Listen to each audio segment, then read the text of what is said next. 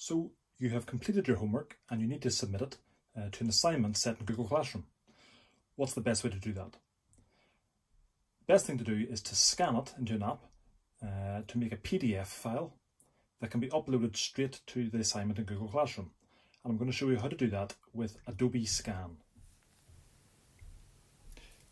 It's a good idea to first uh, open up the assignment in Google Classroom. Here uh, it's called uh, Density Homework, pages 7 and 8. So I've got that opened up and then I'm going to open up Adobe Scan. Now you'll need to uh, sign up for an account for Adobe Scan, but it's a, it's a free account. Um, and it'll try to take a picture automatically. If I line it up there, you can see the blue dots move and I can take a picture or you can tap the shutter button.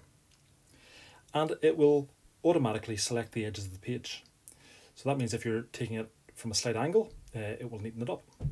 Now a good tip for whenever you do this is to make sure you've got good even light over your page. Um, if the only light in your room is uh, an overhead light and you cast a big shadow uh, over your page, it can make the scan a bit difficult to read. So maybe using a desk lamp to light up the page, or indeed putting it in front of a window is a good idea. Now this is a two-page homework, so we also need to, um, uh, to scan a second page. So if I click continue, it'll allow me to select a second page. There we go, and I can take the picture. And again, it's going to uh, select the edges of the page. So in this case, that's done. If I click continue, and then tap uh, in the bottom corner, we can see I've got my homework here. It's saying page one of two, and it says scan, and it gives the date.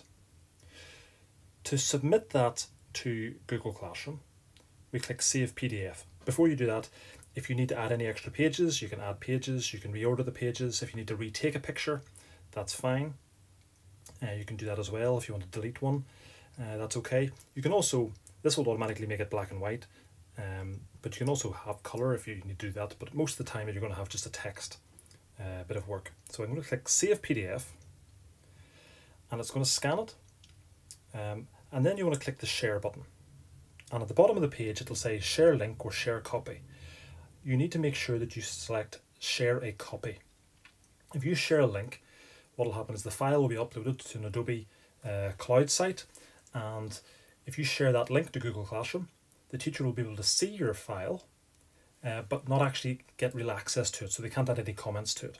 In this case, if we go to share a copy, it'll send a full copy of the file, and then you can select what app you want to send it to. There's Classroom.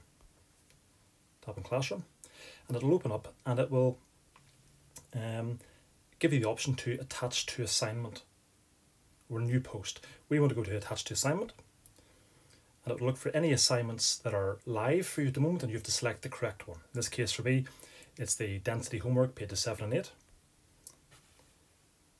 And there it goes. And then hand in. And it's done.